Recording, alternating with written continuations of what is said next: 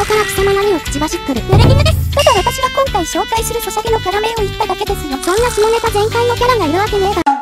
うわなんだこいつきも今回は明らかにピコ太郎をもじったと思われるキャラが登場したり、某アメリカ大統領の横顔にセミスをつけたモンスターが PV に現れた MMORPG、妖怪惑星クラリスについて解説していきます。もうだいぶヤバそうだなおい。いざ参ります。不安や。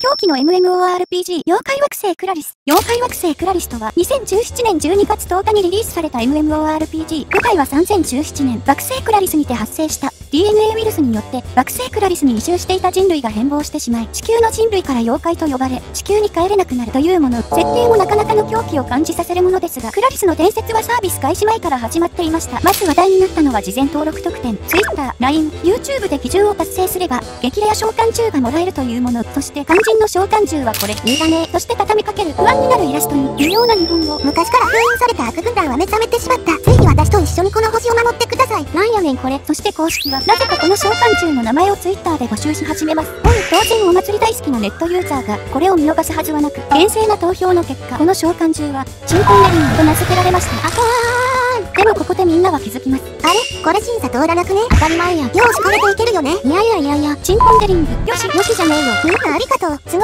い。じゃあフレーバーテキストも頼んでいいかな？よくないね。こんな感じで。他のキャラもお願い。フレーバーテキストも。という感じでどんどんキャラの名前は決まっていきました。何もかもが順風満帆。と思われたその時、事件が起こります。なんと、名称、PPAP なあれをにゃんこにしたキャラ名が、ユーザー投票により、弁血マン、ゴーチン、ゴーテンと名付けられるに至って、良識あるプレイヤーから、それはさすがにダメだよ。と警告が発せられ、公式も、あれ？これ審査に通らなくね？審査以前の問題だけどね、回避策として、弁血マン、ゴーチン、オーペンは正式名、愛称、素直に草です。にすることで傾きを得ました。得てねえだろうが、意地でもユーザー投票をなかったことにしない誠実さ、素晴らしいですね。うん。その後着々とキャラが増えていき、お使いゼロ戦、素直に米です。乳首感じるんでしたよね。冷凍したのか、俺以外のやつと、などの個性的なキャラが登場。個性が溢れすぎ。さらには iOS 版のアプリがリリースされた際には、ガチャの属性排出率をユーザーが操作できる。運営に、誕生日だからなんかちょうだい。というとダイヤ5個もらえる。小説を執筆して、現金がもらえる。などの仕様が発見され、その異次元っぷりを見せつけていきます。謎すぎて気持ちいいな。いろんな意味でこれまでにないゲームだったのですが、なんと2018年2月23日、突如サービス終了を告知。えー、この手のサービスは、サービス終了は1ヶ月後、などの告知方法が一般的ですが、本作は今日終了しますとのこと。今日、そして、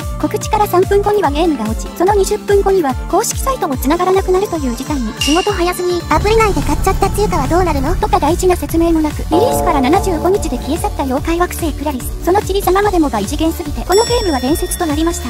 その5ヶ月後、アプリ消失から音沙汰のなかった公式ツイッターに新しいつぶやきがありました。その内容は、妖怪惑星クラリスの所有権を全て KBK ラボに譲渡するとのこと。もしかしたら妖怪惑星クラリスが復活する日も、そう遠くはないのかもしれません。復活の際は、ぜひ皆様もその狂気に触れてみてはいかがでしょうか。